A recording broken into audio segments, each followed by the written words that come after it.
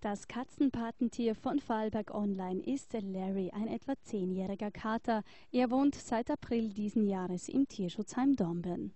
Der Larry ist ganz liebe Katz, ist meine Lieblingskatze, ist ganz ein bloß schaut ein bisschen verrupft aus. Leider. ich glaube, darum hätten bis jetzt auch noch niemand wollen. Aber er ist wirklich sehr verschmust und ganz lieb. Sein Schicksal ist eigentlich ungewiss. Larry ist ein Fundtier. Er wurde in einem sehr schlechten Zustand aufgegriffen. Der war ganz zerzaust und verrupft. Wahrscheinlich einen da eine andere Katze gehängt, vermöbelt oder so. Also der hat wirklich schrecklich ausgeschaut. Und jetzt haben wir ihn gesund gepflegt und jetzt haben wir ein neues Plätzchen für ihn. Am besten natürlich ein Haus mit Garten, wo er vorausgehen kann. Leute, die ein Zeit für ihn haben, zum ein streicheln. Aber eigentlich sind sie gerne zu anspruchsvoll, die Katzen. Larry ist alles andere als ein räudiger Kater. Über Vorarlberg Online suchen wir für ihn, den lieben schmusigen Kater, ein neues Zuhause.